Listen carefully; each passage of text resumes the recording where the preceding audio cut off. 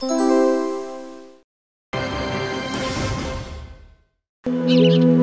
গ্রামটাকে দেখে অবাক লাগছে না? আজকের এই ঝুল কালিতে ধূসর ময়লা হয়ে যাওয়া পৃথিবীতে এত স্বাস্থ্য, এত রং, এত প্রাণ ওই গ্রামটা পেল কি করে?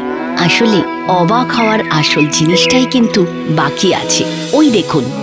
হ্যাঁ এই গ্রাম চালানোর দায়িত্ব ছোটদের হাতে। এই কারণেই এই গ্রাম আজও এত নির্মল, এত উজ্জ্বল। এটা আজকের ঘটনা নয়, অনেক অনেক দিন আগেই শুরু হয়ে এই পরম্পরা আজও চলেছে। অনেক অনেক দিন আগেই এক সকালে।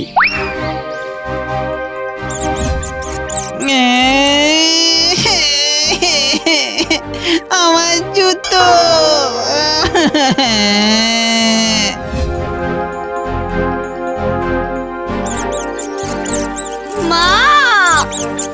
আজ আজ সব কটাকে দেখে নেব সব কটাকে।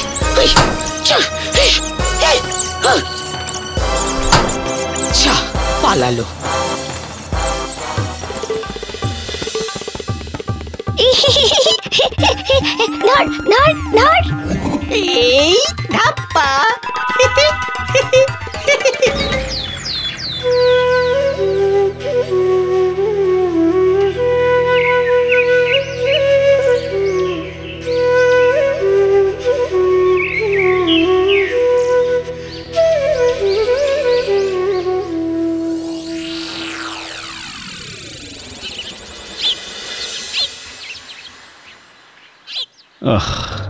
কি যে করি?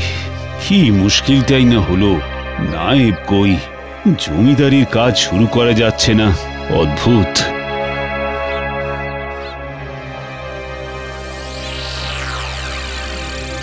এ কি নায়েব তোমার জামা এমন ছিঁড়লো কি করে? আগে হুজুর ছেড়েনি কেটে দিয়েছে ইঁদুরে। হুজুর তাই তো আসতে দেরি হলো।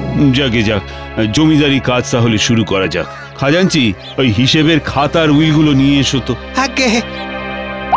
হুজুর হুজুর একটা কিছু করুন হুজুর। সারা গ্রামে ইঁদুরে ভরে গেছে। মানুষ অতিষ্ঠ হয়ে উঠেছে। এই যে হুজুর। হায় হায় হায় এ তো একেবারে কুটি কুটি শোনো নায়েব তোমার এখন ছুটি। যাও যাও গ্রামে ঢেঁড়া পেটাও। এই ইঁদুর যে মারতে পারবে পুরস্কার স্বরূপ সে যা চাইবে তাই পাবে। আগে যাই তবে।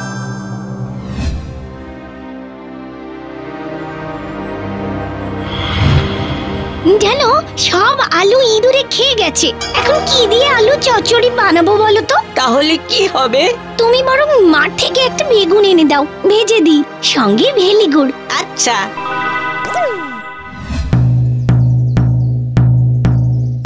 শোনো শোনো শোনো যে এই গ্রামের সমস্ত ইঁদুর তাড়িয়ে দিতে পারবে সে যা চাইবে জমিদার মশাই তাকে তাই দিয়ে পুরস্কৃত করবে।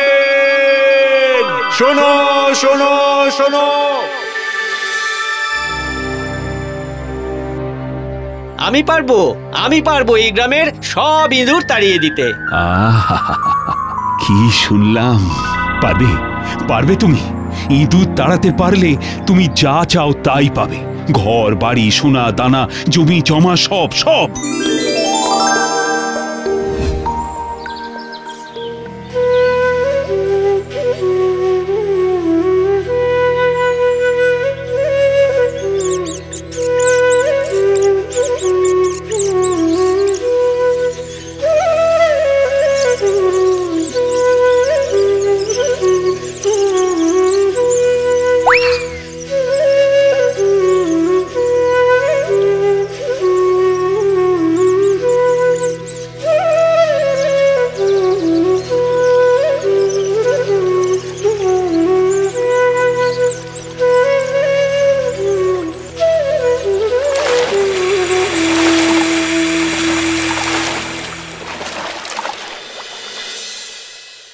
জমিদার মশাই সারা গ্রামে খোঁজ নিয়ে দেখেছি। কোথাও আর কোনো ইঁদুরের বংশ নেই।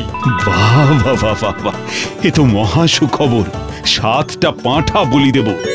নায়েব আয়োজন করো। আহা এ তো উত্তম প্রস্তাব। আপনার উদার মন হুজুর। ও গড়গড়ে লাল লাল ঝাল ঝাল পাঁঠার মাংস খাব। লাল লাল ঝাল ঝাল।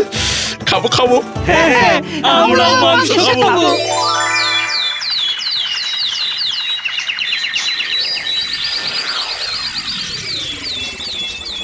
জমিদার মশাই আমার পুরস্কারটা? কি পুরস্কার?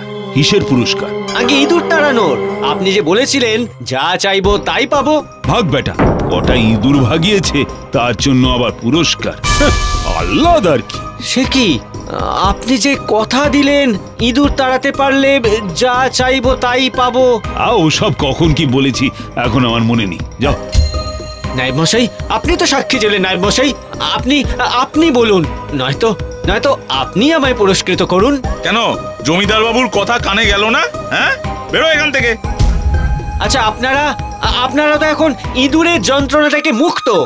তাই তাই আপনারাই আমায় কিছু দিন আমার আমার পুরস্কার? যত উঠকো ঝামেলা। পুরস্কার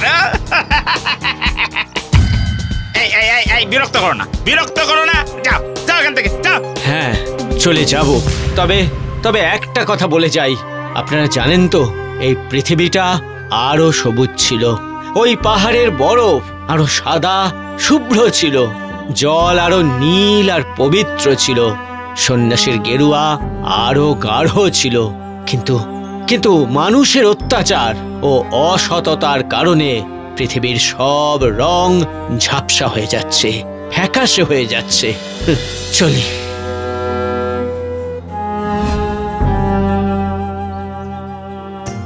বাঁশিওয়ালা জমিদার তোমায় কি পুরস্কার দিল গো? দেখাও না দেখাও না কি দিল দেখাও না। না গো বাচ্চারা জমিদার আমাকে কোনো পুরস্কার দেয়নি। আর বড়রা তারা কি দিল? না গো বড়রাও কিছু দেয়নি। সে কি? কেউ তোমায় কিচ্ছু দেয়নি? সবাই ফিরিয়ে দিল। হ্যাঁ গো তাদের সেই দেবার মতো মনই নেই। তুমি দাঁড়াও আমরা দেব। আমরা আমাদের টিফিনের পয়সা থেকে তোমায় পুরস্কার দেব হ্যাঁ?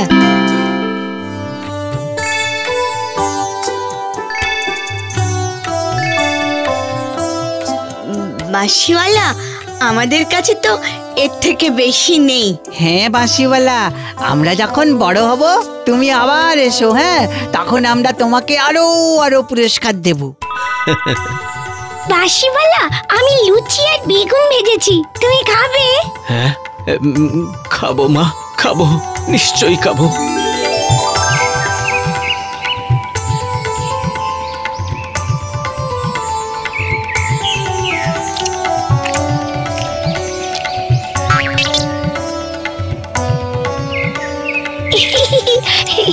ভালো লেগেছে? হ্যাঁ গো মা খুব ভালো লেগেছে। পেট, মন সব ভরে গেছে। এমন ভালো খাবার আমি আমি বহুদিন খাইনি।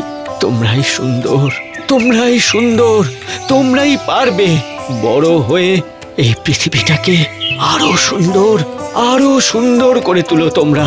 চলি চলি এখন।